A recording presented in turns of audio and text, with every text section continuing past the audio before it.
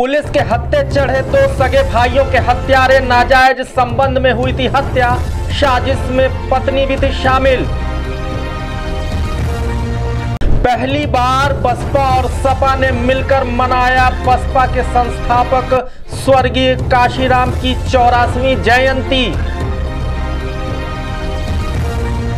प्रेम में नाकाम प्रेमी युगल ने ट्रेन से कटकर की खुदकुशी। स्कॉलरशिप की मांग को लेकर लगभग 100 से ज़्यादा आईटीआई छात्रों ने निकाला जुलूस, किया जमकर नारेबाजी।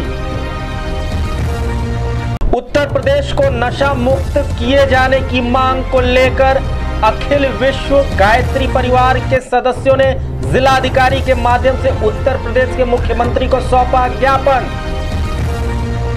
16 से 20 मार्च तक गोरखनाथ मंदिर परिसर में लगेगा विराट किसान मेला व प्रदर्शनी।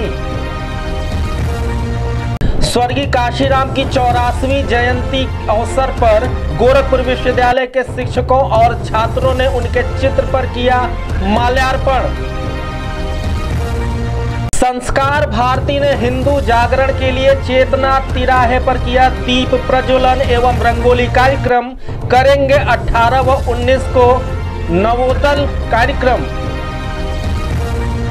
17 मार्च को ब्रह्म भट्ट कल्याण परिषद द्वारा आयोजित होगी होली मिलन समारोह। हस्तक्षेप योजना के तहत इस वर्ष उत्पादित आलू का क्रय मूल्य पाँच सौ उनचास रुपये प्रति कुंटल किया गया निर्धारित। राजकीय उद्यान के अधीक्षक ने दी जानकारी। 17 मार्च तक जेई व एईएस पर अत्यधिक जोखिम वाले 144 ग्राम पंचायतों से 107 नोडल शिक्षकों का प्रशिक्षण मुख्य चिकित्सा अधिकारी के सभागार में हुआ प्रस्तावित।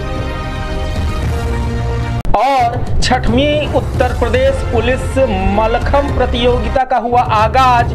पुलिस महकमे के आला अधिकारी रहे मौजूद।